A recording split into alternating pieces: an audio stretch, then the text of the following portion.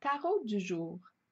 Pour commencer, j'ai trouvé ce tirage un peu plus délicat, mais comme ce sont les cartes que j'ai pigées, euh, je vous le présente.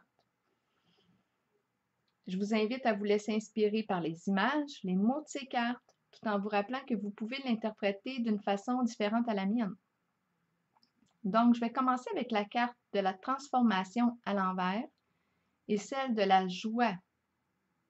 La carte de la transformation euh, vient nous dire ici qu'on a peut-être pensé à mettre fin à une certaine situation, une relation, mais on n'a pas pris la décision encore. On n'est pas prêt à vivre ce changement-là parce que, avec la carte de la joie ici, on voit qu'on a du plaisir avec l'autre.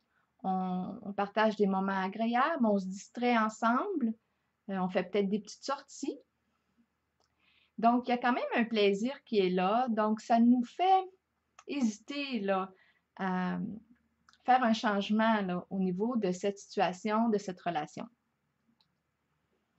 Maintenant, avec la carte de l'intuition à l'envers et celle des pensées de la femme, bien moi, j'ai perçu, oui, une énergie féminine, mais euh, ce que je vois, c'est que c'est une personne qui a, qui a de la difficulté à s'écouter, à prendre euh, du temps pour s'intérioriser et entendre ce que ça lui dit à l'intérieur d'elle-même. Je me suis même demandé qu'est-ce qui changerait si vous commenciez à vous écouter, à prêter attention à vos ressentis, à vos émotions. Parce que là, j'ai l'impression qu'il y a un problème, qu'on le sait, mais qu'on ne prend pas le temps de s'écouter. On dirait qu'on évite. On ne prend pas le temps de s'arrêter. On pourrait vous passer un sapin, vous jouer dans le dos, et peut-être que vous ne, le verriez pas. Parce que vous n'êtes pas à l'écoute. Il y a un manque de présence à soi ici. C'est ce que je vois avec ces deux cartes-là. Maintenant, avec la carte du triomphe à l'endroit et la carte de la pie, bien la carte du triomphe à l'endroit, c'est une carte qui va de l'avant. Mais là, j'ai la pie comme compagnie.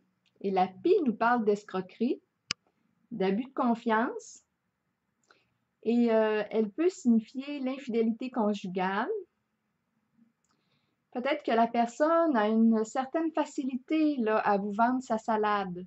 Donc, elle a une, des là, au niveau des paroles. Maintenant, avec la carte de la destinée à l'envers et celle de l'apaisement à l'endroit, ça, c'est assez euh, étrange un peu, ces deux cartes ensemble. Euh, mais la carte de la destinée ici à l'envers vient nous parler d'insécurité. Parce qu'on ne sait pas de quel bord là, que la roue va tourner, mais en ce moment, elle ne tourne pas dans un sens qui vous est favorable. La carte est à l'envers. Donc, on ressent beaucoup d'insécurité, on dirait qu'on vit tout le temps les mêmes situations. Il y a quelque chose de chaotique. Et le climat, comme je vous le dis, il est insécurisant. On ne sait jamais à quoi s'attendre. Mais avec la carte de l'apaisement, c'est un peu comme si on s'était habitué à vivre là-dedans, à vivre ainsi. C'est comme si on y trouvait un certain confort. Peut-être qu'on ne connaît pas mieux.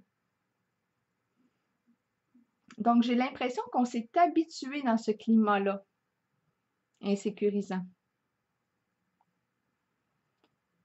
Quand j'ai calculé les cartes, euh, j'ai vu la présence ici d'une personne qui a un don pour vous écouter de façon neutre. Euh, cette carte peut représenter un thérapeute, un psychologue, un conseiller, mais c'est quelqu'un qui sait vous écouter sans vous juger. Peut-être ici qu'on vous invite à y penser, à ce genre de personne qui pourrait vous accompagner. Maintenant, j'ai demandé une carte conseil et j'ai pigé celle de la communication. Je vais vous la lire. Les mots-clés de cette carte sont parler, agir, écouter, avoir des opinions. Il est temps d'agir et de commencer à communiquer avec les autres.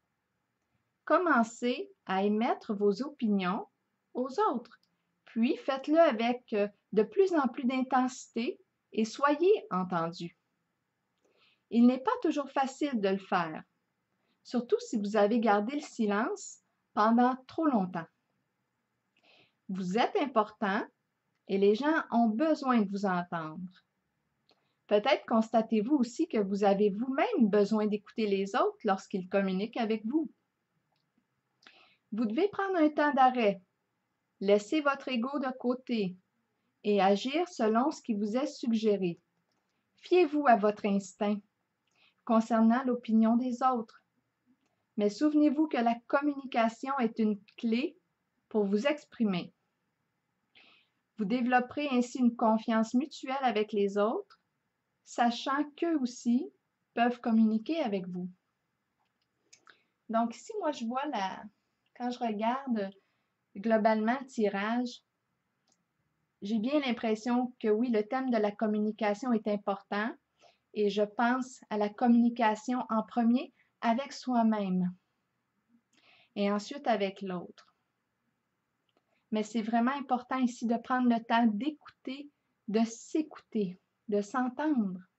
Et parfois, on peut avoir besoin de quelqu'un, comme la personne que j'ai vue en arrière-plan qui est là pour écouter sans juger, pour nous aider à voir clair dans notre vie. Donc voilà, c'est ce que j'ai vu ici en ce tirage. Bien, je vous souhaite une belle journée.